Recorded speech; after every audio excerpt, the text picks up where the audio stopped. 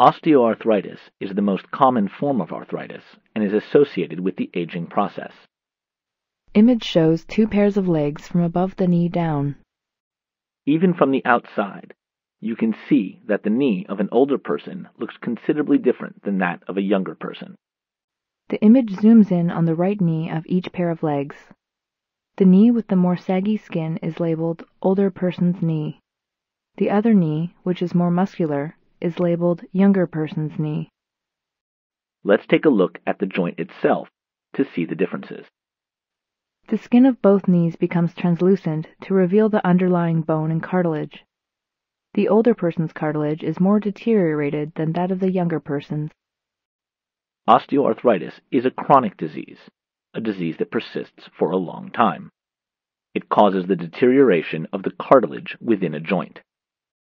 For most people, the cause of osteoarthritis is unknown, but metabolic, genetic, chemical, and mechanical factors play a role in its development. Symptoms of osteoarthritis include loss of flexibility, limited movement, and pain and swelling within the joint. The condition results from injury to the cartilage.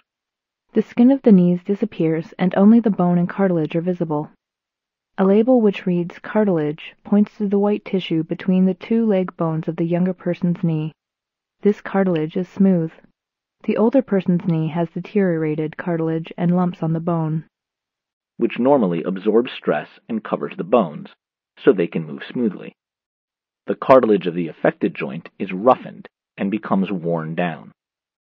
As the disease progresses, the cartilage becomes completely worn down and the bone rubs on bone. Bony spurs usually develop around the margins of the joint. A label which reads bone spur points to the lumps on the older person's bones. Part of the pain results from these bone spurs, which can restrict the joint's movement as well.